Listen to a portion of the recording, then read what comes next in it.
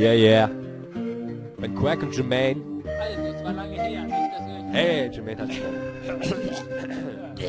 Also, es ist lange her, nicht, dass ihr euch wundert. So vor 700 Jahren, circa 1300, da war ein krasser Drache, den nannte man Feuerzunge und der brannte in die Länder rein so manche Wunde. Man schickte ganze Heere aus, um ihn zu bekämpfen und seinen aggressiven Zorn irgendwie zu dämpfen. Doch das klappte nicht, denn er fackelte alle ab und spießte sie auf seine Krallen auf wie auf dem Grillstab. Irgendwann die Erde bebte, erschien die Ritterstranse. Sie sprach dem Volk mit voller Kraft. Den schönen Drachen haben sie. Alsobald, es war soweit, sie hob die goldene Lanze und schrie zum Drachen. Blödes Vieh, heute geh ich aufs Ganze. Der Drache sagte, die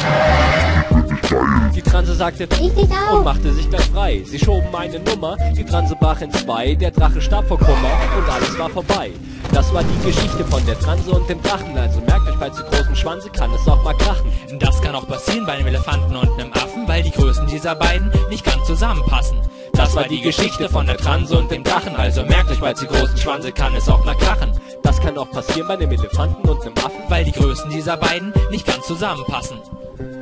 Yeah, ja, Jo. geil. Second Edition so, Jo. fett gelaufen. Genau.